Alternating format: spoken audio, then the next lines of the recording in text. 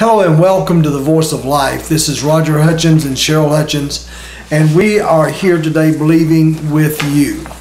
What do you mean? I'm, I mean that, that if you've been uh, wanting to hear from God, wanting to know what God's purpose and plan is for your life, we're teaching about the inward witness, the inward voice that God has placed within us, which came, came in a form of Holy Spirit uh, God has taken up his abode in us, and we know that God is wanting to do mighty things in this day, in this time, in, in this hour right now in which we live in. We thank God for what he's done in the past. We thank God for what he did in the early church. But I believe, and God spoke to me and said uh, that my people need to use what I put in them to use and that he's going to there's going to be a mighty move of God in those that have positioned themselves, those that have uh, come in alignment with the Holy Spirit within them, that God will use us in a mighty way. So uh, today I want you, uh, when we pray, we're getting ready to pray as we open the, the broadcast, and we want to pray for you. Maybe you're not born again uh, it's important that you are born again, that you give your heart to the Lord Jesus. Why? There are benefits to what we are teaching about the kingdom of God, and you want to be available for God to impart those benefits to you. Um, because Jesus told Nicodemus to, to see the kingdom of God or to understand the kingdom of God and to enter into the kingdom of God, you must be born again. There are a available benefits to the kingdom. Uh, as we go along in, the, in these lessons and in the ones to come in, in uh, near future uh, broadcasts, we're going to be sharing those things with you because we believe God wants you to be the head and not the tail, above and not beneath. And uh, I'll tell you all about that. We're going to talk about it as we teach the Word of God. But first of all, let's pray you accept the Lord Jesus if you haven't already. If you're sitting uh, here, if you're opening up these uh, lessons and you uh, you need healing, you need a touch in your body, you need uh, peace in your mind, we believe while we pray, God's going to give it to you because God sent you to this broadcast today and you're going to begin to be blessed in a mighty, mighty way.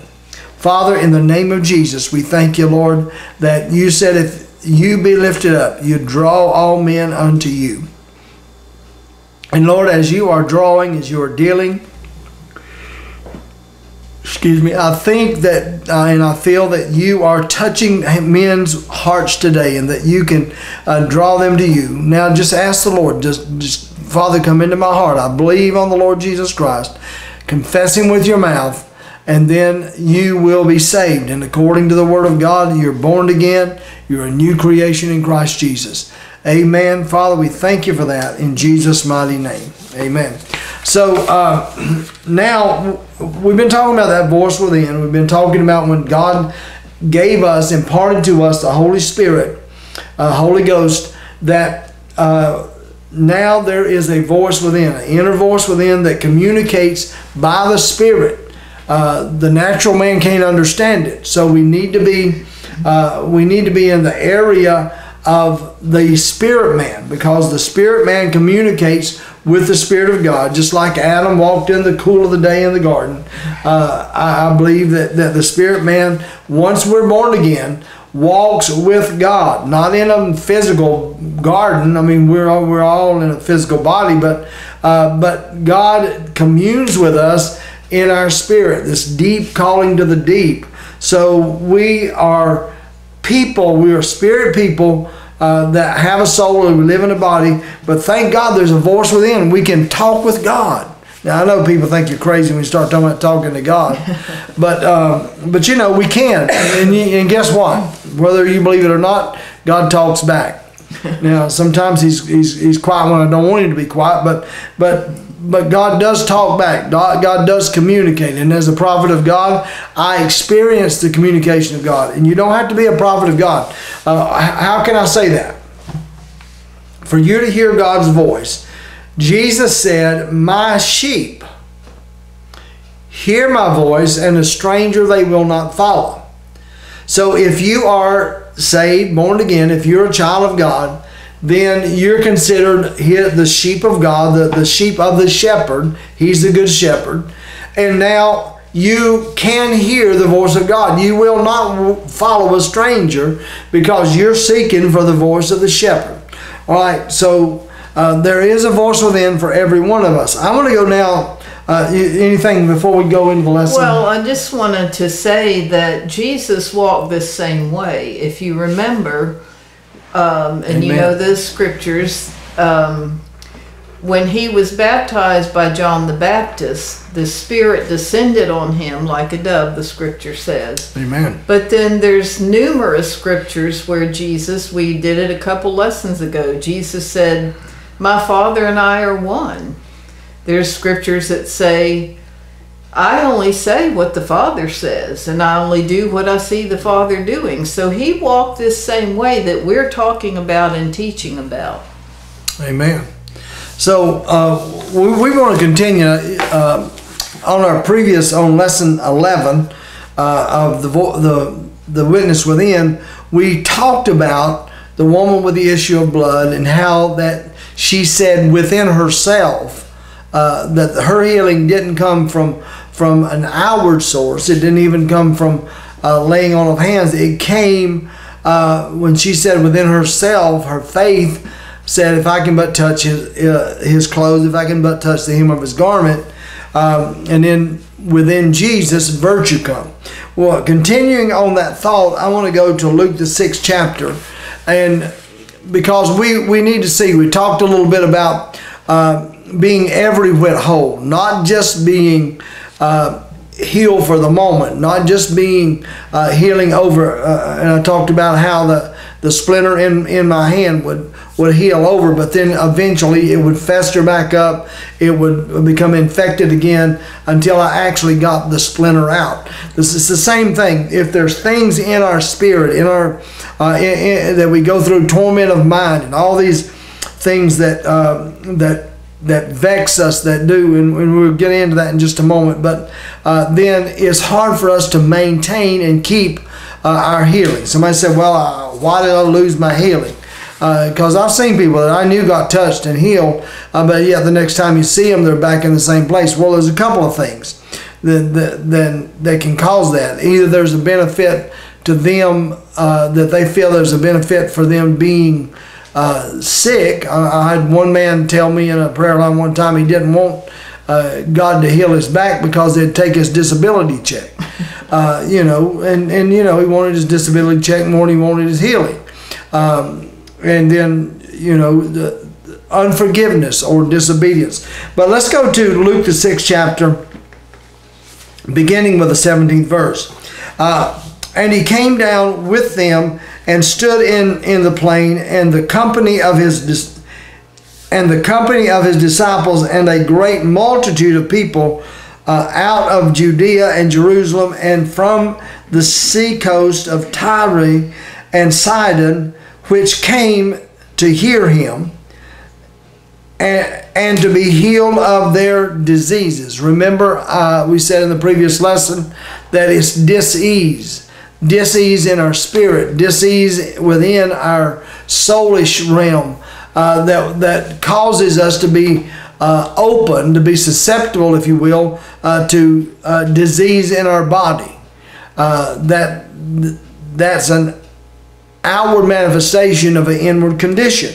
So we've got to deal with the inward man, the, the voice that is put inwardly on purpose. Because if we can get the inward man uh, walking in peace and joy and righteousness in the Holy Ghost, then we're living in another kingdom. The kingdoms of this world are going to bring us always to disappointment, to uh, not being in peace. Read verse 18 with me. Uh, and they that were vexed with unclean spirits, say vexed. vexed. That means there was something, there was a vexing, there was something inside of them uh, that was. Uh, what, what was it, Cheryl? Gnawing uh, at them or eating. You know, something, something there that it was constantly uh, condemning them, constantly tormenting them, constantly uh, causing disease in their inward man. Uh, they were they were vexed with unclean spirits, uh, and they were healed. Now, thank God, God just doesn't heal uh, physical, but God can remove the the thing that's there that's causing the physical to be under uh, oppression, to be uh, de- depressed. Uh, verse 19 says, and the whole multitude sought to touch him, and they went, uh, and for they there went virtue or life out of him and healed them all. Now, I, I think that is a, uh, uh, outstanding that, that virtue went out of him. These people that were tormented, uh, you know, I can see that. I, the, the, scripture talk, calls Jesus the Prince of Peace. And what these people needed, a whole multitude of people that were vexed. I don't know what made it, what brought them to that point. I don't know why they, maybe their culture, maybe some kind of uh, witchcraft or something going on. I don't know what was vexing them, but I do know when the Prince of Peace showed up, glory to God, uh, that that he healed them all. He, he cast the devil out of them if they needed uh, uh, the devil cast out of them, or he just breathed peace, and they began to uh, worship God. Uh, uh, if, if you read on, then you'll find after that he he lifted up his eyes to his disciples and he began to teach what we commonly call uh, the Sermon on the Mount or the Beatitudes. Uh, because once he did that, that sure that's why I, whenever we come on this broadcast, I want you to experience the touch of God and be born again because uh, these people couldn't hear a, a, sermon on the mount. They couldn't. Uh, they couldn't hear what he was saying because they were vexed. They were tormented. Uh, but Jesus healed them all, uh, and then he began to preach. He began to teach. And so that's the posture. Uh, it, it, you know, many times uh, we gather together as the body of Christ. We gather together, and and people that are vexed, people that are tormented, people that are not free, uh, can't hear what the Spirit of the Lord is saying. That's why God wants to bring us uh, to that place of healing and that, that place of the torments, the vexing, uh, all that, that Cheryl said it like this is a gnawing. It's something there that's just continually gnawing at you, God, condemning you. But thanks be to God that Jesus comes and heals all our diseases and he speaks peace into our spirit. I just want to say to anybody who is feeling this gnawing or the vexing or the harassing inside, the the it really is a tor- torment. Yeah. Um, I've experienced that. Most everybody has, but if you will just get quiet, Amen. if you will just get quiet and listen, and um, let God just, it's like it goes back to the splinter. Sometimes things are so deep inside of us. Yeah. The scripture talks about the word of God being like a sword. And it says that sword is very sharp and it's quick and powerful, but it goes in and it divides asunder the soul and spirit. See, it's the soul man that's being saved, and that's what has to be healed first because we started Amen. this whole series with uh, first or third John 2 that um, it's God's will that we prosper and be in health as our soul prospers. So we've got to get Amen. that soul open and healed first so physical healings can take place. And, um, you know, some of you have had a lot of ugly words said to you, um, extremely hurtful words. But you got to let go of all of that. Forgiveness has to flow. There will never, ever, ever, ever be a healing, and a genuine healing, unless forgiveness flows. And just realize, I remember when I was back in college in the late 60s um, I took a psychology class. The only thing I can remember out of the class is this, and from that time to this day, I've never forgotten it, and I think about it often. And the professor said, Remember that everyone has something in their life that you don't know about. Yeah. Everybody's been hurt, everybody has suffered. So just remember that the people that hurt you, they had something that hurt them. The saying is hurting people hurt people, and that's just the truth. But don't be one of the hurting people that hurt somebody else. This scripture is talking about Jesus Christ, the Son of the living God, who has the power to heal, to remove that thing or things from your soul, to bring that peace within. I'm telling you, it will transform your life. Amen. There's no, no, no life at all apart from Jesus Christ, and you will never, ever be disappointed if you truly have an encounter with Jesus Christ and you read the Word and believe it. He'll never disappoint you. Amen. You know, Cheryl, it's so many times we go through life and we don't deal with things. And, uh, you know, just thinking, you know, this is the second day we've talked about uh, about this, but but I really feel it's it's the hand of God because uh, there are people that that that will be watching that really need a touch from God to just change their inner uh, the the feelings on the inside.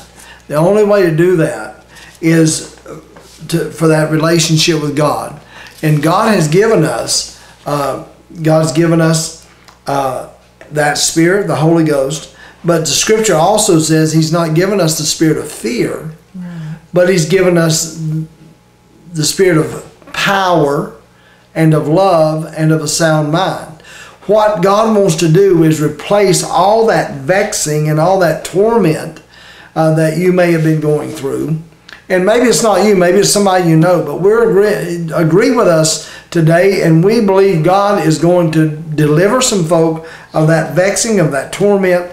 But knowing this, God has not given us a spirit of fear.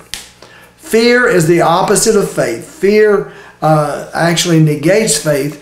But I want to tell you what God is declaring you to be a person of faith, and God is declaring whenever Jesus came amongst this multitude, he come ready to release the virtue or the life out of him, the peace out of him that would heal not just one person like that woman with the issue of blood, but he came ready to release that virtue. And that's we're right here to, today cheryl knowing that however how many uh, hear this broadcast and ever how many uh, will just say that that's me god. I want peace from the vexing i want peace from the torment and God will heal you. Jesus' virtue is still in the earth today, and I feel it being released to, to somebody today that you can come into a place that you're every whit whole, and the power of God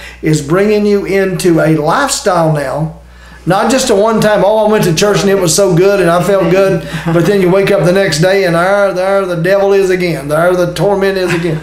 You know, you've got the power now to turn around and open your mouth and say, Get behind me, Satan. Uh, you know what happened? I've been delivered from that. The life of God, the, the, the virtue of Jesus Christ Himself came and healed me, and you get behind me because I am every whit whole. Hallelujah. Um, when Roger was speaking, I thought of the scripture in First John. I believe it's chapter four or five, somewhere around there, and it says that perfect love casteth out fear. Amen. And what happens when we have hurtful things done to us? That's a lack of love on the part of someone, or when we do it to someone else. Yeah. It's a lack of love, and many, many lessons it's been expressed that God is love. That's who He is. So, and He's that perfect love. Amen. Let His perfect love heal you. Let go of that. Let go of all of it. It's not going to benefit you. Look at your life. Has being annoyed with people and angry with people, has it benefited you in any way? No. If you're honest, it has not. But let that perfect love cast out the fear of being hurt again, the fear that somebody else will do something, or even the fear that you will do it yourself. Yeah.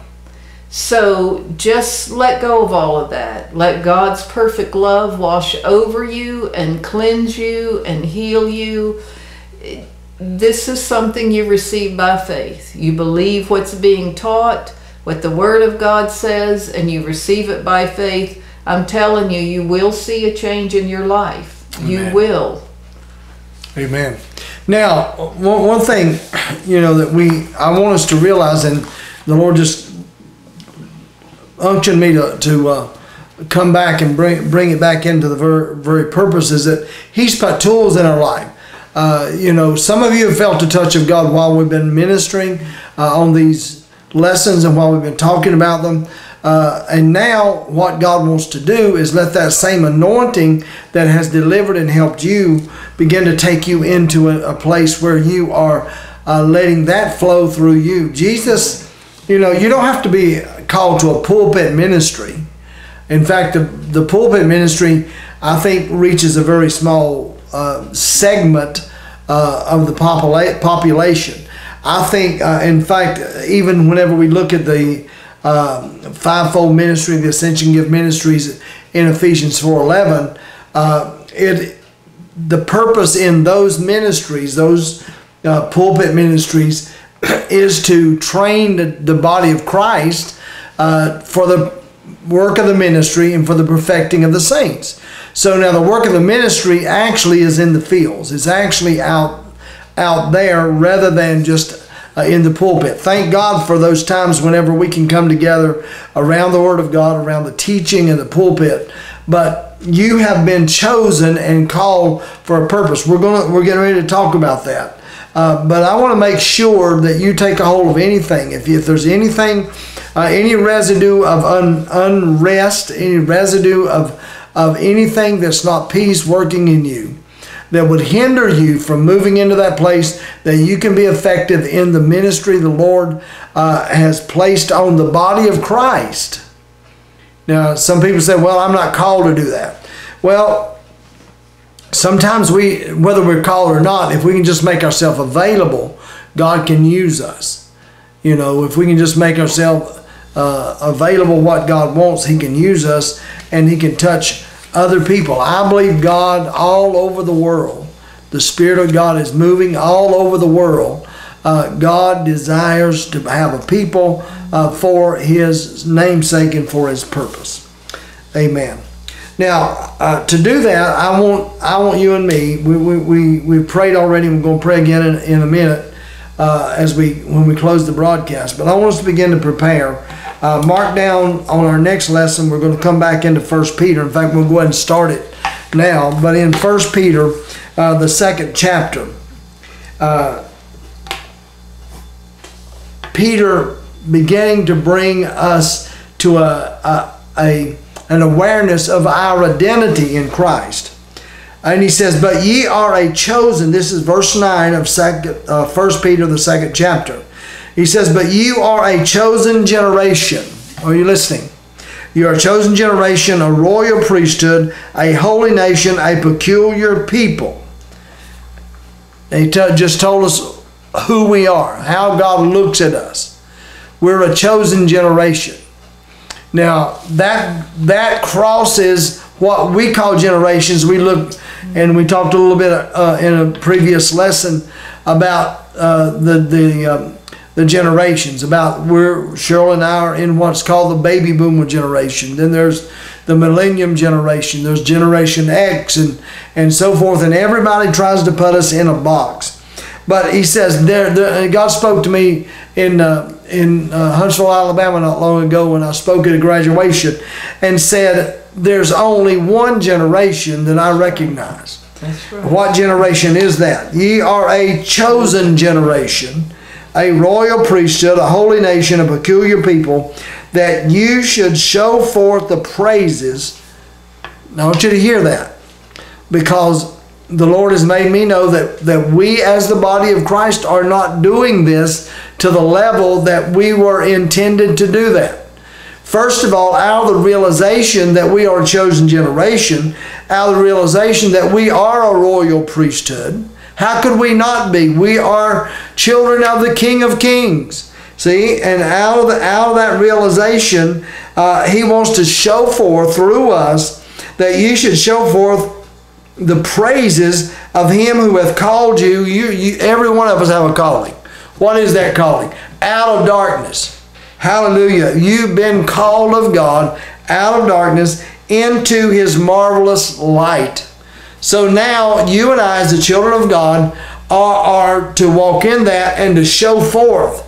That means there's something out of what God's done for us. Now we show forth the praises uh, of God. And I believe that you and I can do that. We can lift up our voices and praise God, but we also can praise Him with our lifestyle you know, so many want their lifestyle to go back into to look look like what it used to look like before you were called out of darkness.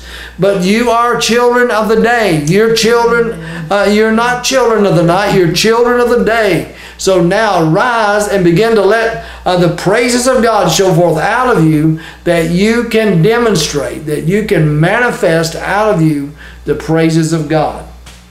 Any closing words? No, I don't think. All right, we're going to go ahead and pray today. And, uh, you know, I just sense God touching somebody. Uh, I want you to re- realize that. You're a chosen generation. God chose you. How awesome is that? That God chose you and me to be part of His body, to be part of that royal priesthood. Uh, you're a holy, holy nation, a peculiar people, that you should show forth the praises of him who's called you out of darkness. Somebody say out of. Out of. Out of. He didn't call you to stay yes. in right. darkness. He called you out of darkness. So thank God he not only called you that, he empowered you to do that. See, so he qualified you and now we can walk forward as the children of the living God. Heavenly Father, we thank you today as we close this broadcast. You just minister your anointing, your power, your spirit unto every man, woman, boy, and girl under the sound of our voice. God, I thank you, Lord, for ears to hear.